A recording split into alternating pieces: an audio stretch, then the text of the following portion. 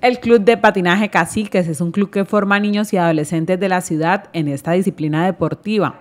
El club actualmente participa en competencias nacionales en diferentes categorías donde esperan tener buena participación. Según manifiesta Emanuel, entrenador físico del club, los deportistas se han preparado por varios meses para enfrentar estas competencias. Fue un festival de escuelas en el cual estuvimos invitados varios clubes de Bucaramanga y Barranca Bermeja. Fue una representación que nosotros hicimos de la ciudad de Barranca muy, muy buena. Eh, estuvieron muy buenas las competencias, siempre hubo bastante nivel.